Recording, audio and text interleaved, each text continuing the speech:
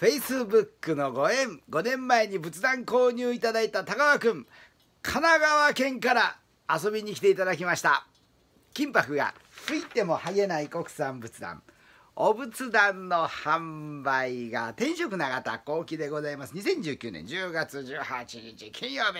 今朝5時49分。朝動画でございます。時計が向こうにありますもんですからですね。はいはい。あの実は昨日ありがたいことにですね今から5年前に Facebook をでご縁でですね全く面識なかったんですけどありがたいことで私の投稿を見ていただいたですね。田川君、えー田川さんも今も3ですね。当時高校卒業してすぐだったんですけどもう今5年でも小田急でバリバリ活躍してらっしゃいますね。イケメンでしょ。よか男になったと思いますよ。はい。であの昨日ご来店いただきですね。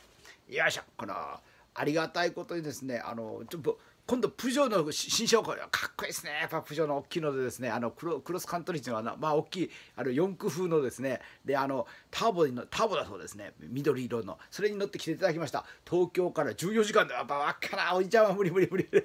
であのありがたいことにですねこのほらこれこれメープルシロップいうかですねこれありがたくみんなでいただいております。あの昨日早速会長が2ついただきまして私も今日いただきますからですね。はい来ていただきました。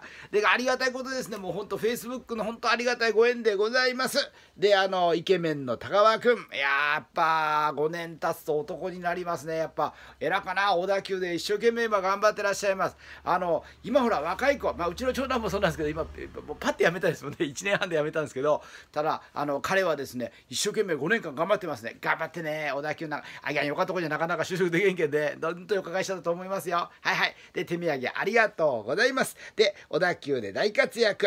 で、えー、砂漠のライオン。プジョーで親孝行ご来店帰省ですね。あのやっぱお父さん喜んでらっしゃると思いますね。ご長男さんですからね目の中に入れても可愛いもう痛くないほど可愛いと思いますね。まあ口には出されないと思いますけどお父さんとても喜んでらっしゃると思いますよ。はいもう本当親孝行だと思います。はいで、えー、5年前に高級仏壇シタンシタンのいいお仏壇をですねもうご注文いただきました。もう本当にありがとうございます、まあ、あの定期的に我々の方からもですねニュースレターとかを送りさせてもらってます。お実家の方にはですね高川君の方にはちょっと送っててないんですけどただあのフェイスブックでですねいつもチェしてあのチェックしておりますよ。はいはい。であのやっぱりですねあの当店 SNS フェイスブックインスタであのありがたいことにご来店いただいております。これからも情報発信頑張っていきたいと思います。で本当にありがたいご縁ありがとうございます。はい、ではここまでこの動画を見ていただいて誠にありがとうございました。